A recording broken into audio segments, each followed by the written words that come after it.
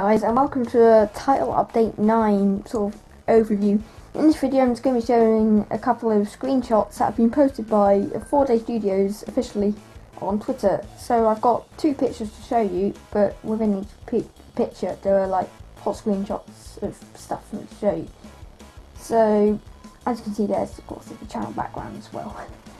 Not background, channel art, banner, whatever you want to call it. So first picture.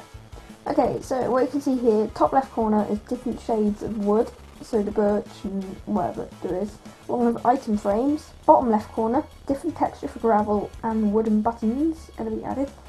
Top right corner, as you can see the item frames again there, but you can literally see nether bricks in the furnace there.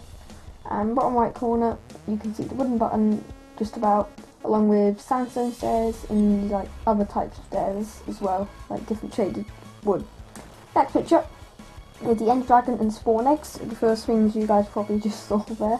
So yeah, End Dragon and Spawn Eggs to be the next update. In the bottom left corner, you can see like guy holding a map, and bottom left corner of the map, you can see like a white cross. That is, I think, where the end portal is when it's activated. I'm not too sure. Comment below if I'm wrong. And bottom right corner, item frames with sandstone stairs, um, nether brick slabs, and fire charges as well. So they're the only pictures I have for you guys at the moment. I hope you enjoyed looking at the pictures, and yeah, that's really all they are. There's a couple of pictures I thought I'd show you.